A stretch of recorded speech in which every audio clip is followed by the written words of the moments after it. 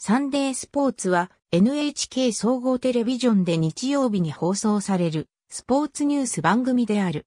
1985年4月にサンデースポーツスペシャルとしてスタートした。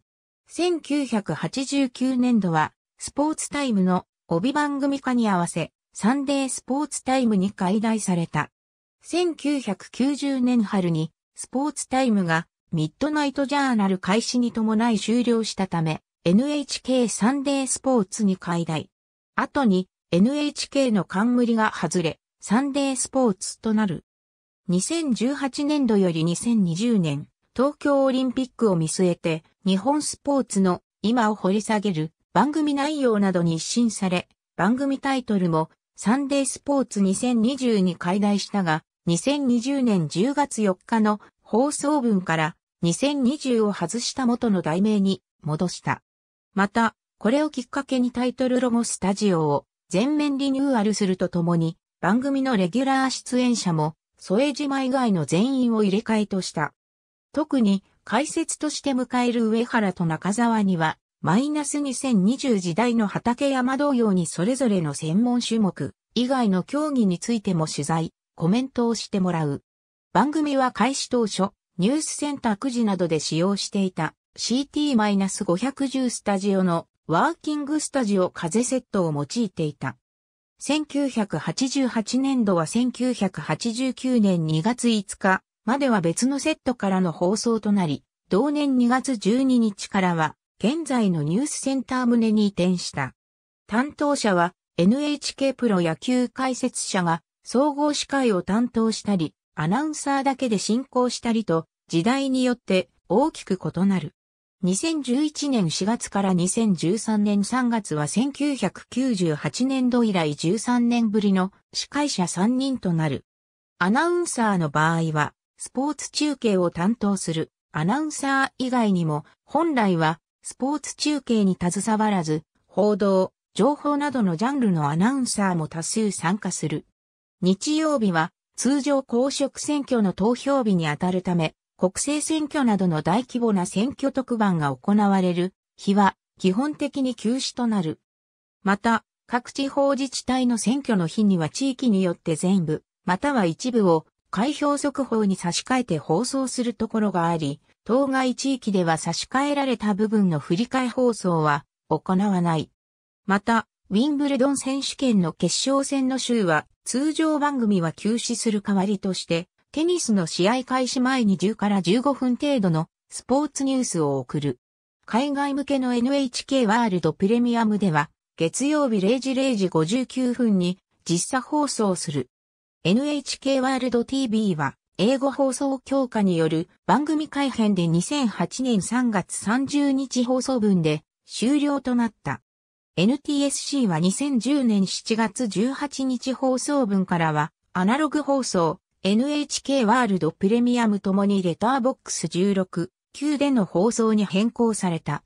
2015年4月よりサタデーとともにリアルタイム字幕放送を開始している。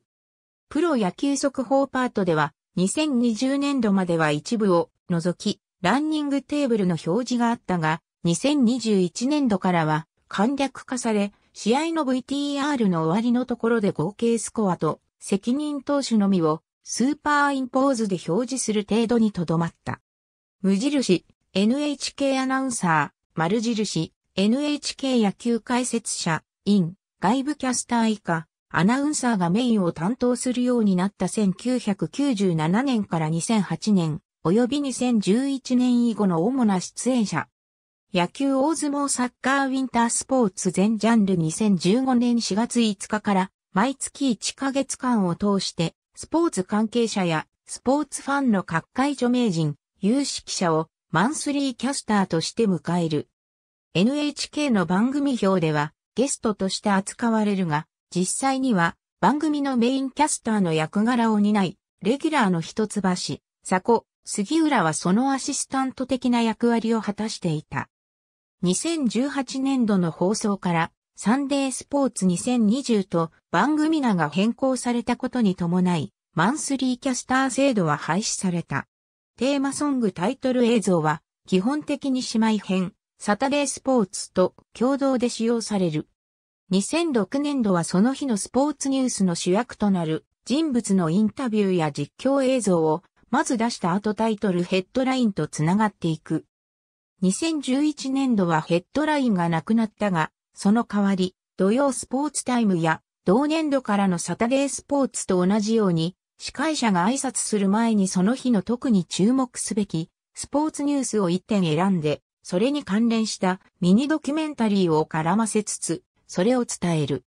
なお、プロ野球速報では公式戦で、スコアテーブルを原則として全試合表記するが、オープニングで取り上げた項目が、プロ野球である場合は、スコアテーブルが表記されない試合がある。2015年度では、ミニドキュメント形式で伝える最初の項目は、アバンタイトルの形式で始める。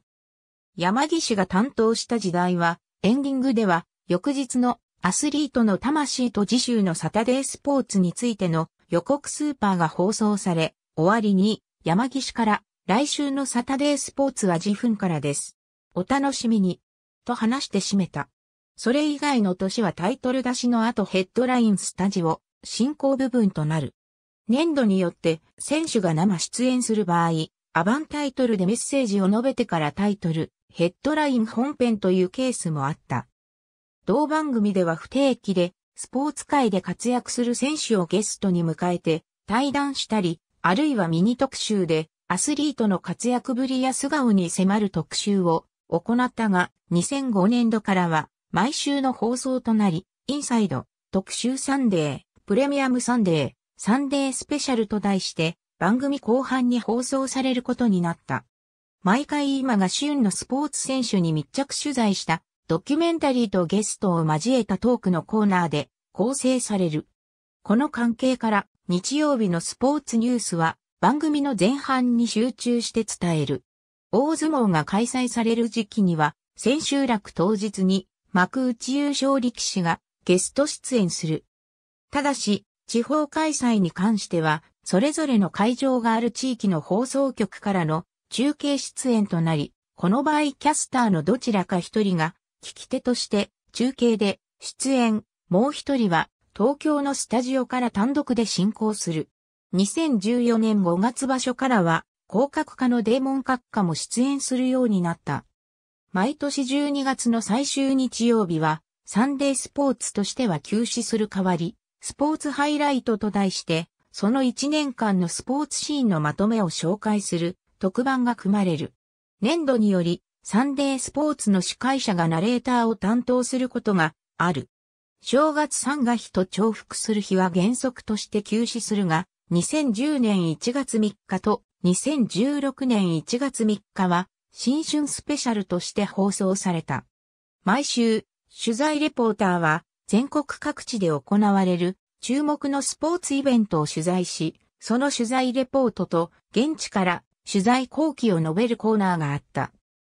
2020年10月からは野球関係は上原が雑草クール、サッカー関係は中澤がボナライズ、また2021年1月からは不定期シリーズ企画として相場によるグッド。スポーツ。2020スタジアムの事実上の続編である。AI バズのコーナーで選手や特定のチームを取材したコーナーが設けられている。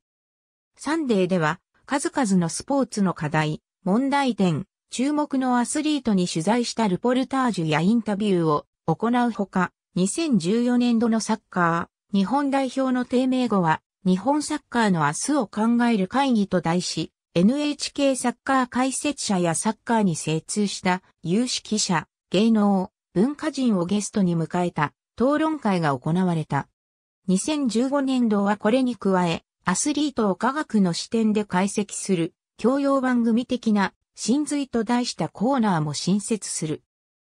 また当番組からのスピンオフとして、2014年には、サンデースポーツ、プレミアム2ソウルズと題し、同年度の本編特集にて、三浦和義と、笠井則明、大谷翔平と、萩野公介、さらに2015年には、同題名による沢誉と中村俊介の特別対談に未公開シーンを含めて再編集したものを NHKBS1 にて2015年には4月の特集で放送された大貞治と長島茂雄による特別対談にやはり未公開シーンを含めて再編集した長島茂雄、大貞治、ON として生きるが総合テレビのゴールデンウィーク特番として放送された。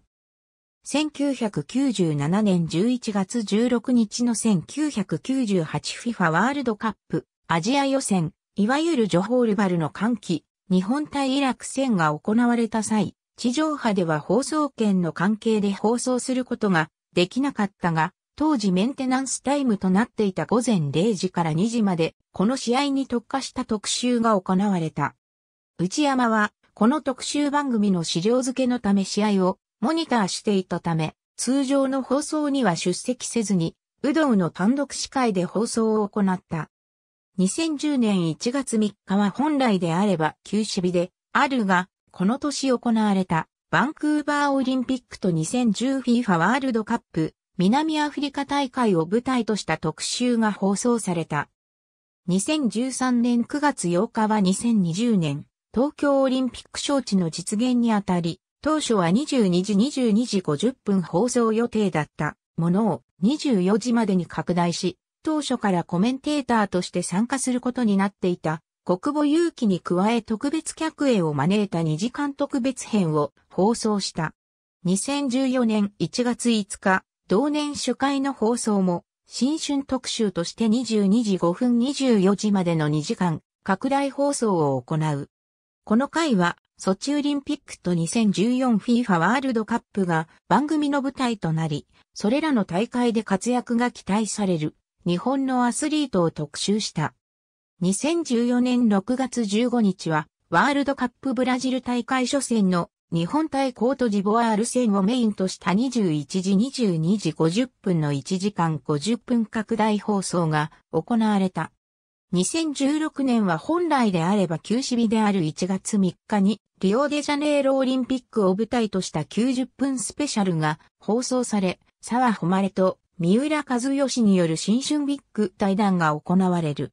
サンデースポーツスペシャルに関するカテゴリー、サンデースポーツタイムに関するカテゴリー、サンデースポーツ2020に関するカテゴリー。ありがとうございます。